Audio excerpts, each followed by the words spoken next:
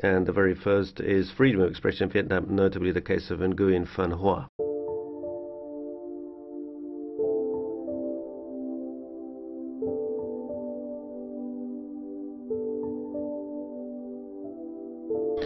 the uh, court case of Nguyen Van Hoa shows that uh, the Vietnamese regime uh, does not uphold basic human rights and we need to appeal to the Vietnamese government. I am seriously concerned about the deterioration of civil and political rights that we're currently witnessing. The case of Nguyen Van Hoa, who was sentenced to seven years in prison simply for informing his fellow citizens about the impact of an environmental disaster afflicting thousands of people is deeply worrying. I would remind the Vietnamese that this Parliament will not judge the free trade agreement just on the substance of the free trade agreement, but on the political situation in the country. We will take into account the human rights situation in the country. We will take into account the labour and environmental standards in the country when we vote on this in this Parliament. And Vietnam's current approach to freedom of expression is unacceptable. It's intolerable.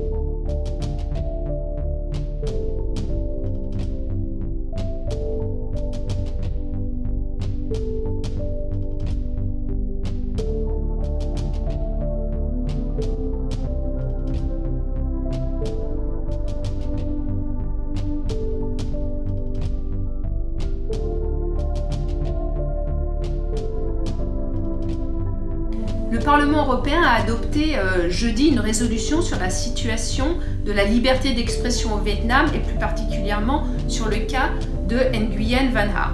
Euh, le message que les parlementaires adressent aux autorités vietnamiennes, est très clair. Ils leur disent d'abord, on suit ce qui se passe dans votre pays et deuxièmement, on n'est pas du tout d'accord avec ce que vous faites, avec la répression accrue euh, que vous menez et avec les pratiques liberticides que vous employez le, texte, le texte de la résolution appelle à libérer toutes les personnes qui sont emprisonnées pour avoir exprimé leur liberté d'expression, les journalistes citoyens, les blogueurs.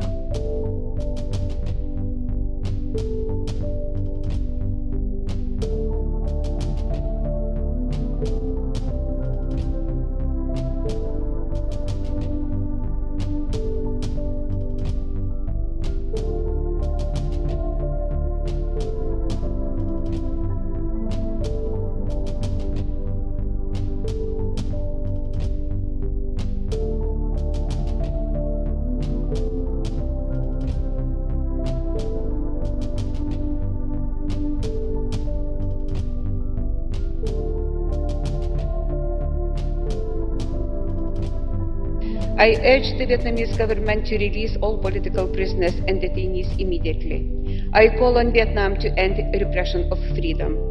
There can be no closer ties between the European Union and Vietnam without respect to all these fundamental rights.